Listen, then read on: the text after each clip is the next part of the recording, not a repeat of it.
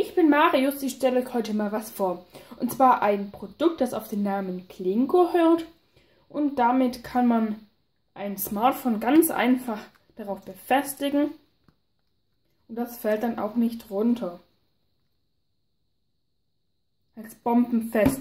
Außerdem, außerdem haben wir hier unten ein Gewinde eingelassen, um das Ganze zum Beispiel auf ein Stativ zu schrauben.